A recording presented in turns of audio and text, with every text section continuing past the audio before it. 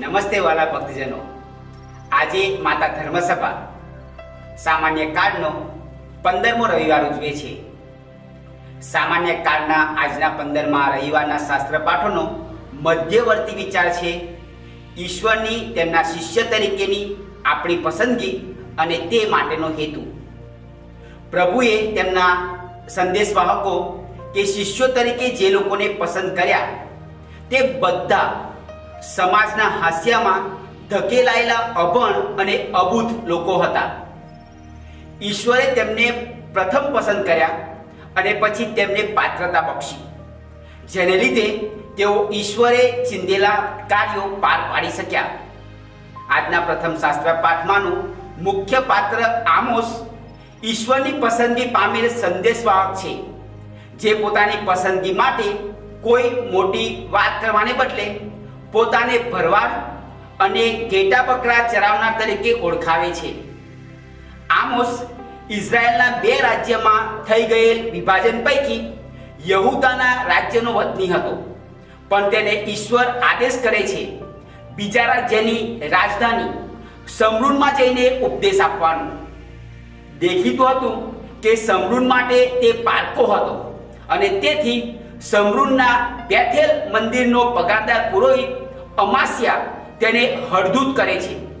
પણ તેની સામે આમોસ નમ્રતાથી વર્તીને તેને જવાબ આપે છે કે તે ઈશ્વરે સોંપેલું કાર્ય જ કરે છે.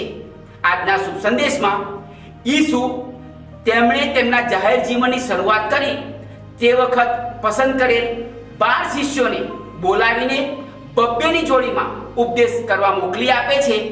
તે પ્રસંગ નોંધાયો છે. શિષ્યોએ જે ઉપદેશ આપવાનો છે તે છે ઈશ્વરના રાજ્યના આગમનનો, પાપના ત્યાગનો અને ઈશ્વરના પ્રેમના પ્રસારનો. શિષ્યોને ઈસુ લોક કલ્યાણ માટે સાજાપણો આપવાનો આદેશ પણ આપે છે. પણ આ બધું પરિસ્થિતિક કાર્ય ઈશ્વર પર વિશ્વાસ રાખીને દુનિયાવી બાબતોની ફિકર કર્યા સિવાય નિભાવવાનું છે. આજના સમયમાં ઈસુના અનુયાયી તરીકે આપણે આમોસને અને ઈસુના શિષ્યોને જે પ્રકારના કાર્યો કરવાના હતા કે ઉપદેશ આપવાનો હતો એવું કરવાનું નથી. પણ ઈસુના અનુયાયી તરીકે તેમના સુસંદેશના પ્રસાર અને પ્રચાર કરવામાં આપણો ફાળો નોંધાવવાનો છે. આજે આપણી મધ્યસ્થી થકી કોઈ વિવાદનું નિરાકરણ થતું હોય, કોઈ કુટુંબમાં સ્નેહ શાંતિ સ્થપાતા હોય કોઈ લગ્નનો ભંગ થતો, અટકતો હોય, આપણી ઓળખ થકી કોઈનું ભલું થતું હોય, તો એની માટે આપણો સમય કાઢીને પણ મદદરૂપ થઈ પડીએ. એ ઈસુના શિષ્યએ કરવા જોઈએ તે પ્રકારના કામ છે. આપણે ભલે ઈસુના પ્રેષિતોની જેમ સાજાપણું ન આપી શકીએ, પણ આવા કાર્યો થકી ઈસુના પ્રેમની સુવાસ જરૂર ફેલાવી શકીએ છીએ. શુભ સંદેશના પ્રચારનું કાર્ય આપણા જીવન થકી થાય, એનાથી રૂડું શું હોઈ શકે? આપણા જીવન થકી આપણે પ્રેમાવતાર ઈસુના શિષ્યો છીએ એવું લોકો જાણી શકે, એ જ શુભ સંદેશ પ્રચારનો સૌથી શ્રેષ્ઠ રસ્તો છે.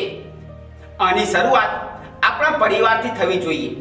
કુટુંબમાં સ્નેહ, સૌહાર્દનું વાતાવરણ હોય, પ્રેમ અને સંપનું વાતાવરણ હોય, તો આપોઆપ તેનો પ્રસાર આજુબાજુ અને સમાજમાં અન્યત્ર પણ થતો જોવા મળે. ઈસુના જીવનનો સાર એટલે પ્રેમ અને કરુણા. આજે વિશ્વમાં આ બે ગુણોથી ઈસુ પંથ બીજા પંથો કરતા આગવું સ્થાન ધરાવે છે. આ બે ગુણોને અપનાવીએ તો સૌપ્રથમ આપણી આજુબાજુ અને પછી આપણા સમાજમાં કોઈ ભૂખ્યું, તરસ્યું કે તંગીમાં જીવતું જોવા મળે ખરું? દુનિયામાં કોઈ પણ માણસ એટલો ગરીબ નથી હોતો. કે પોતાનાથી વધુ ગરીબને મદદ ન કરી શકે.